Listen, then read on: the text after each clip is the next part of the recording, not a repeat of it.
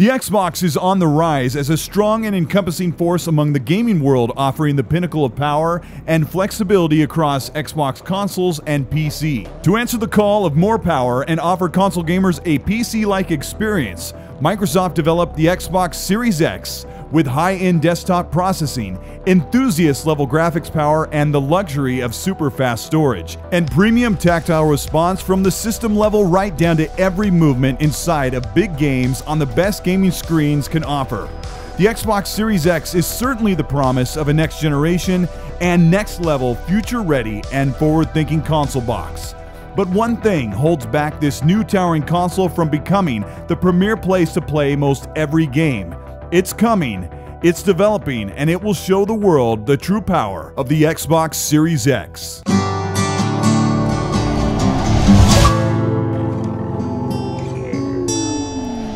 This is Colt Eastwood. Thank you for taking the time to check out this video. I know you have your choice of hundreds of Xbox video reviews, but I hope today I can provide you the most high quality, visually accurate representation of the new console and how games will look on the new Xbox. Before we get started, please set your player on mobile to 1080p 60 or 1440p 60, and if you're watching on a browser, this video is rendered at a full native 2160p at 60 frames at a high quality to give you a look at what I feel is much like seeing the games for yourself being played. If you end up enjoying this video, let me know by liking and subscribing to the channel, hit the bell to be notified of new content, and let's get into this first part of the review for the Xbox Series X. The Xbox Series X is the answer to the 2017's Xbox One X, which is an answer or rather a remedy to the underpowered Xbox One of 2013. The naming convention is derivative, but know that going forward, the X is the high end model of the Xbox and is targeted toward console enthusiasts that want the highest visuals and the highest performance. The Xbox Series X retails in the US for $499 and comes with an Ultra HD 8K high speed HDMI 2.1 cable for full 4K at 120Hz bandwidth, which will be a rare and reserved for smaller games but gives the Xbox Series X access to the highest quality on some of the best UHD TVs on the market. Also, a UHD Blu ray drive to play your game disc and 4K Blu ray movies at the fullest quality thanks to low compression and Dolby Vision HDR. Looking around the back, and we have a total of three USB ports one on the front, which gives you access to one USB storage, one USB headset, and one USB game capture location. No optical ports, so optical headsets are compatible with USB based adapters. Xbox did not provide me with a Seagate SSD expansion card, but I have one on order coming at launch. But the external 3.0 USB drives can hold your back compat games ranging from Xbox Original to Xbox One games, leaving internal storage for next generation games. Xbox Series X titles or next generation games need to be installed on the internal or the expansion SSD. Moving big games from an external hard drive via USB to the Xbox Series X's internal takes a little over 10 minutes. Here is Doom Eternal, a 54 gigabyte game, which is a good average for big games, moving from a hard drive to the internal in just under 12 minutes. This means if you run low on storage for next generation games, you can move a new game that you've finished to a cheaper external storage you may already own and do that in the background. But if you want to play an optimized Xbox Series X next generation game that is stored on your external hard drive, the wait is likely around 10 minutes to transfer and back to playing. In other words, using a cheap external conventional USB drive will be a great option for storing tons of games and moving less frequently played games with little downtime. The internal Xbox Series X drive with 800 gigabytes available means that you will be able to hold around 12 big AAA games with DLC before you need to start managing storage. Storage cost is the biggest inhibitor with Seagate's SSD proprietary storage costing you $220 to hold another 12 to 15 games. Xbox Series X comes with a wireless Wi Fi Direct controller that is a slight evolution of the Xbox controller that has been refined to leave well enough alone with the best thumbsticks and triggers in the industry.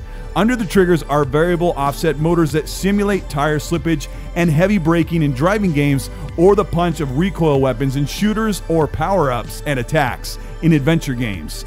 The Xbox has a system level latency reduction solution that is integrated with newer TVs with ALLM or auto low latency mode that reduces overall time from the wireless controller to the console and out of the screen to your eyes to give you the visual and tactile feeling of quick response. The thumbsticks are largely unchanged from the Xbox controllers that you already know with very similar tension. The controller has added a share button for quick screenshots and recording clips on the fly, which saves a button press or two from the previous controllers. The Xbox Game Capture and Share button are integrated into the system with more options than we saw on the Xbox One. With an external storage device connected like a 3.0 USB drive, you can capture full 30 second record that flashback clips. You can start recording and capture gameplay for up to one hour as well. These clips are captured externally, are full native 4K or 2160p 60 FPS with HDR or without. The game captures are well above YouTube quality at around 23 megabits per second, much like the Xbox One X did. Sharing clips to Twitter, your Xbox Activity tab, or OneDrive is simple and easy. The console is designed to vent heat from this powerhouse out of the top of the holes with a green accented grille that truly looks better in person than I expected. The console easily fits in most entertainment centers in vertical or horizontal orientation. The Xbox is quiet. During my week and a half with the console, I never heard the fan. The heat coming off the top is very warm. It's doing its job, and the Xbox has been running all day, testing dozens of games.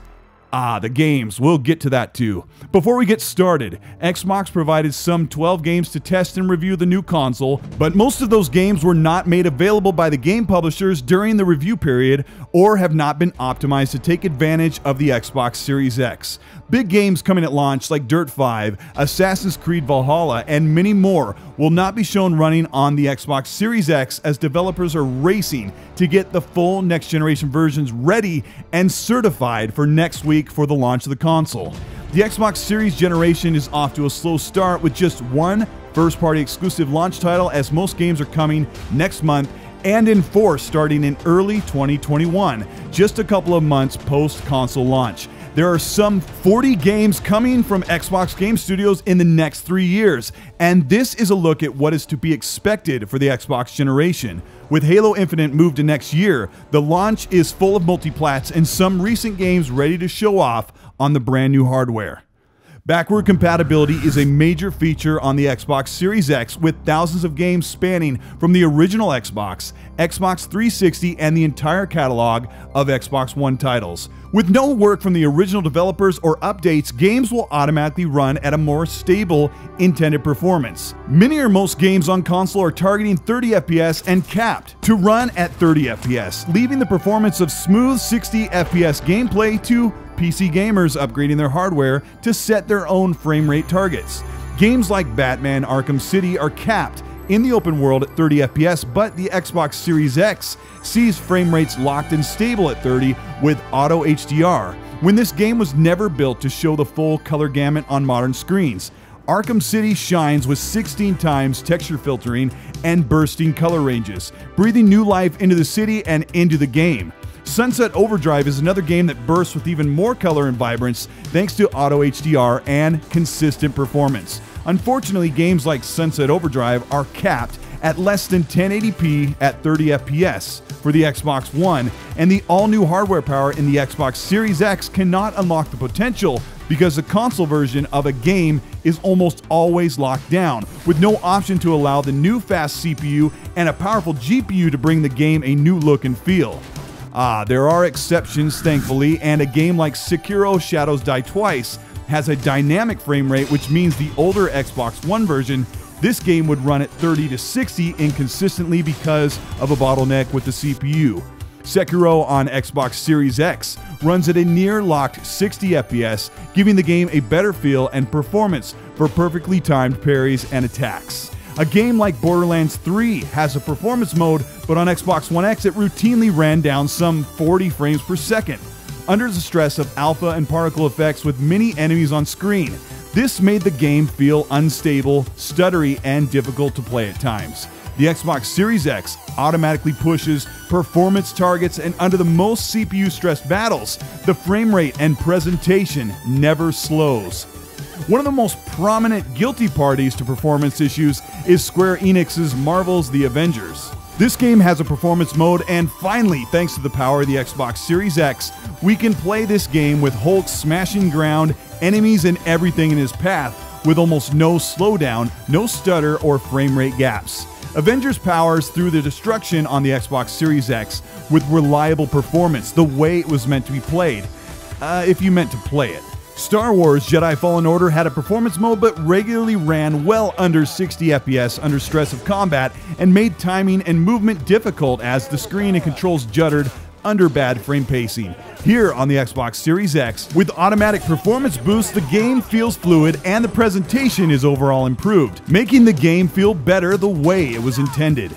Games made to run at 30 FPS on the Xbox One, like Metro Exodus, won't automatically run at 60 FPS, and going forward, this problem will go away as devs will have access to faster, more powerful hardware and will unlock frame rates and allow games to take true advantage of the next console, extending the life and the potential of games. There are more advantages to playing current games on the console. A massive game like Red Dead Redemption 2 loads up the huge map and the world in about 42 seconds instead of the 2 plus minutes or more we saw on the Xbox One. Largely, the game is still the same, already able to run at native 4K, capped at 30 FPS. But The Witcher 3, unpatched by CD Projekt Red, runs at dynamic resolution and frame rate on the current Xbox One X, but thanks to the Xbox Series X, it automatically runs at a near full 4K at 60 FPS across the entire world when it used to drop to the 40s in some heavy areas. With the Xbox Series X, the fast frequency CPU and powerful GPU means that we will see dynamic 4K games running at 60 FPS in the open world with additional visual improvements. Here is 2017's Agents of Mayhem, a game that ran with heavy motion blur at about 30 FPS in the open world, but thanks to the back compat on Xbox Series X, this game runs at around 1800p at a locked 60 FPS with no patch, no update from Volition. This game looks and feels better, which is part of why a 60 FPS standard is so important for games in motion and behind the controller. Every game in the Xbox library will run better and with auto HDR, but Xbox is working on some new magic that will allow some games previously capped at 30, like Fallout 4, to run at 60 FPS with no patch from developers by working around the way the game is designed to run on the Xbox. Stay tuned to the channel and you'll learn more about this transformative feature next week as I talk to Xbox's hardware program manager Jason Ronald. The Xbox Series X is built to run big blockbuster games at PC like settings, usually reserved for builds that cost nearly $2,000 with high and ultra settings. Fast frame rates starting at 60 and up to 120 FPS, and real hardware accelerated DirectX ray tracing. A game like Watch Dogs Legions, shown here courtesy of Ubisoft, is rendering high end visuals and lifelike reflections, lighting, and shadow visual improvements never seen before on console or hardware at a $500 price point or anywhere near this price point. Watch Dogs Legions is capped at 30 FPS, meant to show ray tracing, but future titles will allow Xbox players to choose screen space reflections, which are traditional reflective techniques, and keep the game running at 60 FPS, or other concessions to play with real hardware accelerated ray tracing.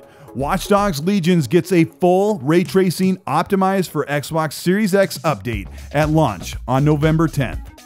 Showcases on the Xbox Series X for this review are four main games thanks to full optimization on Gears 5, Sea of Thieves, and Forza Horizon 4, and the brand new Gears Tactics.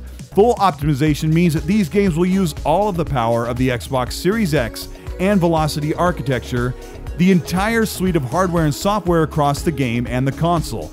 We'll start with Rare's Sea of Thieves. Everyone has strong opinions about this pirate simulator that has grown exponentially over the years, but the Xbox One version ran at 30 FPS, and although beautiful in its own right, on the Xbox Series X, it truly shines with a full resolution at 60 FPS, bringing in unmatched vibrance usually only found on high end PCs. The colors and the feel come alive, and the water, the best in the business, has never looked more amazing on the Xbox Series X. I'm not a true fan of Sea of Thieves, but the overall feel and presentation here is incredible. Gears 5 has been a visual and technical showcase on the Xbox and PC, and being hailed by Digital Foundry as in a league with Naughty Dog's visuals. The Xbox Series X version of Gears 5 is improved with higher than PC settings, global illuminated screen space reflections that rival the power and capabilities of an RTX 2080. The game runs at a dynamic resolution for 60 FPS, with an aggressive scaling range from rare drops to 1080p up to full 4K, with a middle ground around 1720p or about 80% of 4K, with vast improvements over the Xbox One X version of 2019. Gears 5 runs at full high quality texture work and sharpened visuals in cinematics at 60 FPS, giving you a smooth transition into gameplay, making the overall presentation of the game a true improvement. Looking next generation on this unoptimized patch, the Coalition is still working on to release for the Xbox Series X. The build here for Gears 5 is not even running on Velocity architecture. It still loads up much faster and 120 FPS multiplayer not only increases the fluid look of the game, it reduces latency and coupled with auto low latency, Gears 5 has never looked or felt better. The best showcase on the Xbox Series X comes from probably one of the best looking games of the entire console generation, Forza Horizon 4 from Playground Games. It already ran at 1080p 60 in performance mode on the Xbox One X, but now optimized and enhanced for the Xbox Series X. It runs at near native 4K or full 4K at 60 FPS across the vast open world of Britain. And this game is a visual celebration of art direction and power to make it all possible. Forza Horizon 4 has no visible jagged edges or aliasing across the tiniest of details. This game looks and feels like a full next generation game, only the way a high end PC could make it possible. Finally, the first next generation game from Xbox Game Studios is Gears Tactics. This is a turn based strategy game in the Gears of War universe with full resolution, high quality graphics that first debuted on PC over six months ago. Here, the cinematics run at 60 FPS and the gameplay runs at 60 throughout, with close up kill cams showing the attention to detail not seen when you're using the Battlefield camera isometrically above the fight. Controls have been tuned for a controller and refined for a faster RTS experience for fans of XCOM and fans of Gears. Access to Gears Tactics opened up just a few days ago, but it comes to Xbox One and Xbox Series consoles on release day for November 10th. The cinematics show that Xbox Game Studios can make a truly stunning game based on strong characters with a hard hitting story. Gears Tactics is a very niche genre for games and not quite the launch title I would have picked for the first exclusive of the Xbox Series X. All of these games can take advantage of Quick Resume, a feature that is not just about switching between as many games as quickly as possible. Quick Resume means that in less than 6 seconds, you can come right back to a game you played without reloading the entire menu, the load screens, and accessing your save. It can hold up to 10 to 12 games with a pause state in the memory cache without keeping the game running in the background. Basically, it takes a snapshot of where you paused the game and recalls it back to you in less than 6 seconds. The best part of this feature is bypassing all of the boot and loading screens and your save if you happen to need to leave a game to play something else. The only exception is online titles that will remove you from a multiplayer lobby, but that's to be expected. Quick resume and super fast load times, some five times faster than the previous consoles, means that you can get back to your games quickly with no barriers and no more wasting time waiting to play. The Xbox Series X is a powerful, fast, and quiet box that gives you the performance of high end PC builds for a budget price of just one great graphics card. The overall experience is quick, snappy, and loads of potential are just waiting to be unlocked as developers bring their biggest games to the console. Right now, the Xbox Series X, without access to some new cross generation games or next generation games like Assassin's Creed Valhalla, Dirt 5, or Bright Memory, feels like an Xbox One X with two to four times more power. Unfortunately, the state of console gaming, unlike PC, you cannot feel the immediate movement of next level hardware and increased power since 90% of the games we already own are locked down to run on five year outdated consoles. Thankfully, the experience of playing dynamic games with high frame rates and increased performance, the Xbox's handful of games made with the Xbox Series X in mind, like Sea of Thieves, Gears, and Forza showcase the eyes and excite the mind in the future of Xbox, with over 40 games coming from Xbox Game Studios to show fans what the new hardware can do and how Xbox will transform the landscape of console gaming with things like low latency hardware, accelerated ray tracing, variable rate shading, and DirectML AMD features in RDNA 2 to increase visuals and power efficiency to make games feel bigger and feel better. The entire console speaks of speed and access to your games, with no barriers, no waiting time, and more time to play more games coming to Xbox starting this holiday. This is Colt Eastwood. Thank you so much for watching. Thank you to Xbox for providing this opportunity for me to review the Xbox Series X. They reached out to me a few weeks ago, and this has been a very interesting experience since I've never reviewed a console before it was available to the public. There are a few interesting obstacles that I had to overcome testing this console and creating this review. Xbox provided me with 12 games to review, but the biggest titles like Assassin's Creed Valhalla, Dirt 5, and Watch Dogs Legion were not available to play or capture for this review. Things are in flux among the gaming industry with developers separated from their teams working from home. Deadlines are difficult to hit early, and many other games outside of the ones I mentioned are being delayed, so I could not show you some of the big games or even access them. I'll have full access to them on November 10th, so I will develop a review part 2 sometime next week. I actually recorded a ton of Watch Dogs Legion, but it is basically the Xbox One X version with some screen space reflections instead of using the Series X hardware accelerated ray tracing. So you'll see that soon. Dirt 5 was just removed from the review the day before this review went up because those teams are working to the last minute to get the next generation versions patched and certified. Assassin's Creed Valhalla is not accessible at all until November 10th. My personal impressions of the Xbox Series X review are largely disappointed with the content available to work with as a reviewer but the hardware is as promised. It's strong, it's fast, and it's very capable and future proof for years to come. It's very unfortunate that Xbox didn't have another game ready for launch when they delayed Halo Infinite. The competition has doubled down on launch games and has plenty to show on the launch of their console. Consoles are more than just a handful of exclusive first party games that they provide each year, and it's very apparent that the abundance of multi-plat games coming will look and play best on the Xbox platform be that Xbox Series X or a really high end PC. But to provide the review process with just a few playable games, and leave most of the review hinging on back compat, something the media already covered a month ago makes this a very difficult review to build. Overall, I'm pleased with the Xbox Series X, and the anticipation for new games running on the new hardware is at an all time high. If you have been playing on the Xbox One X, I'd highly recommend the Xbox Series X to give you an increase in visuals, presentation, and most of all, a leap from mostly 30 FPS to mostly 60 FPS and more. If you're still playing on the base Xbox One, I can't recommend the Xbox Series X enough. It is absolutely vital to your gaming experience as you'll easily see a leap of well over four times in every aspect. It will elevate your experience on Xbox in every single way.